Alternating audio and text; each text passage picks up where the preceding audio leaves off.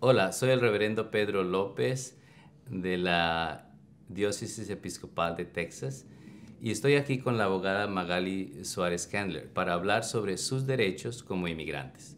Mucha gente está muy preocupada por el ambiente anti-inmigrante y la amenaza real de las deportaciones.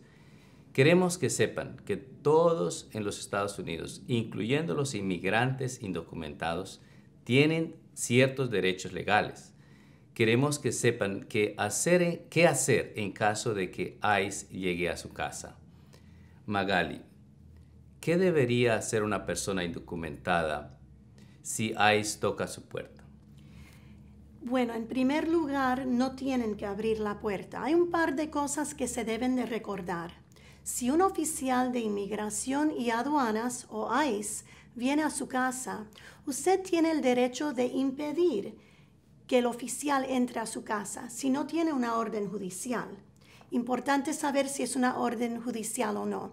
Si dicen que tienen una orden judicial, es importante pedirles que la puedan ver Pídenles que les deslicen la orden bajo la puerta.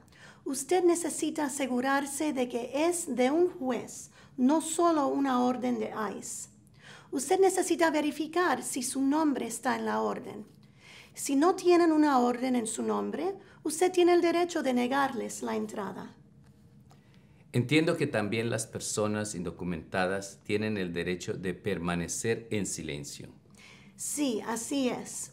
Ciertamente, usted puede decirles y tiene el derecho de no contestar preguntas sobre su país de origen. Usted puede decir, estoy ejerciendo mi derecho legal a permanecer en silencio. Asegúrese de decirlo en voz alta para que el oficial pueda oírlo a través de la puerta. También entiendo que la gente puede tener algo por escrito para darle al oficial diciendo que está ejerciendo su derecho a permanecer en silencio.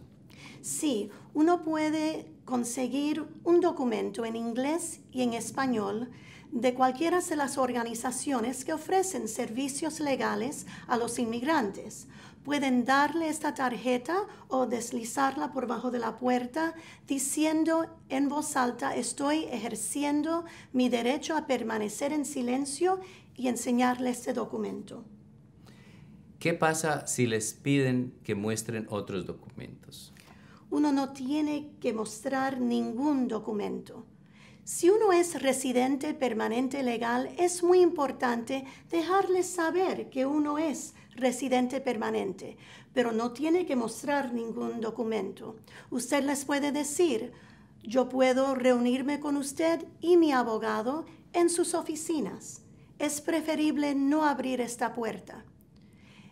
Eso lo que más uno tiene que recordarse es no mostrar nunca un documento falso a ningún oficial y mejor nunca usar documentos falsos.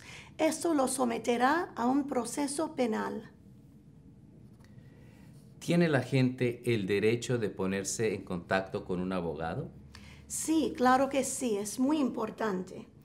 Y si no tiene abogado ya, puede conseguir uno. Pero usted siempre le puede decir claramente al oficial que quiere llamar a un abogado para que tenga representación legal. En realidad estas cosas pueden suceder repentinamente, por lo que es mejor tener un abogado antes de que algo suceda, ¿verdad? Claro que sí, sí es posible. Si ya tiene un abogado, asegúrese de llevar su información de contacto con usted en todo momento. Si no conoce a un abogado, al final de este video mostraremos información de organizaciones o lugares donde usted puede contactar a un abogado fiable de inmigración. Hay algo más que es necesario recordarse. No firmar nunca ningún documento sin asesoramiento legal. El abogado puede guiarle en qué hacer en su defensa para permanecer en este país. Y recuérdense que los notarios no son abogados o licenciados aquí en los Estados Unidos. Para obtener más información puede visitar el sitio web de Caridades Católicas, el sitio web de TMO, de Metropolitan Organization, o asistir a las charlas en Caridades Católicas.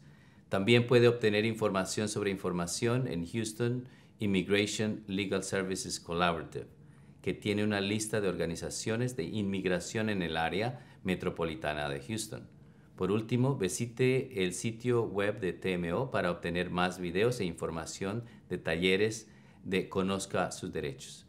En el área metropolitana de Houston, los líderes de iglesias de muchas denominaciones continuamos pidiendo una reforma migratoria integral con el fin de abordar este asunto de una manera sensible y holística. Gracias por ver este video. Por favor, compártalo con los miembros de sus organizaciones, con sus amigos y familiares. Gracias y que Dios les bendiga.